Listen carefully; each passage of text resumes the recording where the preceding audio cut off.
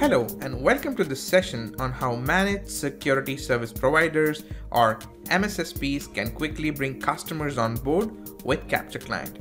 This is Vishnu Chandra Pandey. I'm a technical marketing engineer with SonicWall and stay tuned with me to learn more about this series. The SonicWall MSSP program is designed to deliver predictable cost models for qualified MSSPs that will help them drive greater profitability. It is offered with annual pricing as well as with monthly pricing and Capture Client subscriptions can be consumed via either offerings.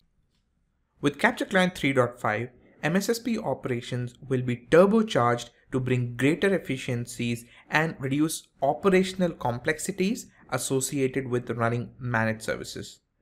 This includes a quick onboarding of new tenants, which is what we will cover today, enabling automated billing via ConnectWise, delivering actionable intelligence for each tenant, offering flexible policy control with global and custom policy, and finally, rendering global visibility and control across all tenants.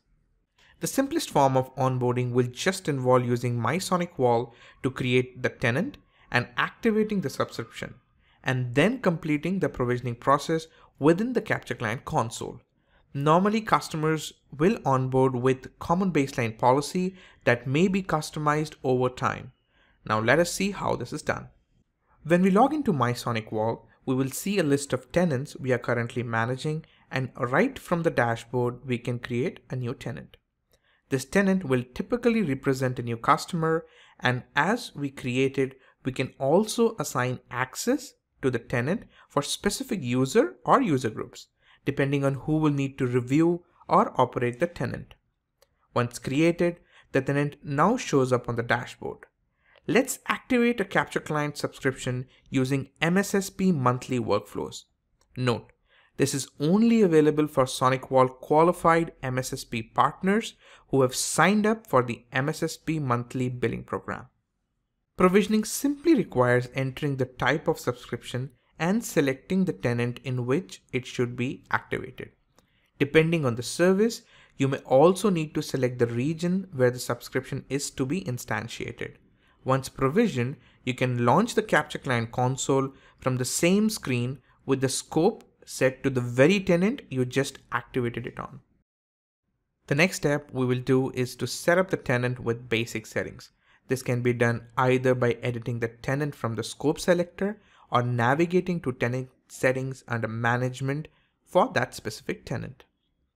Tenant settings will allow us to configure some miscellaneous settings like logos on reports, any helpful information we like to share with users in the client UI, or some notes we need to retain about the tenant.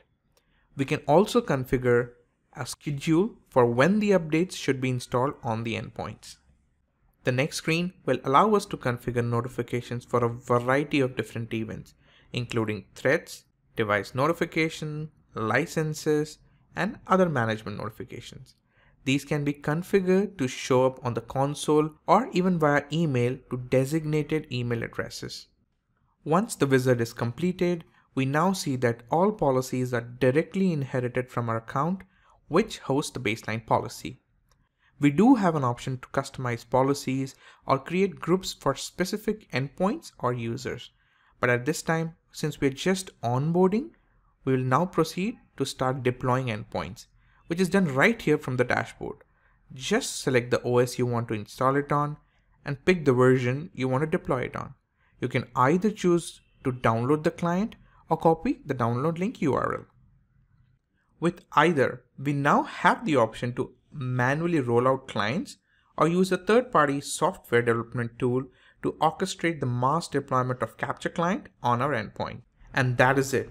We actually got the tenant up and running in less than 5 minutes and that is how long it should take you to onboard a customer with a security service. We hope that was helpful.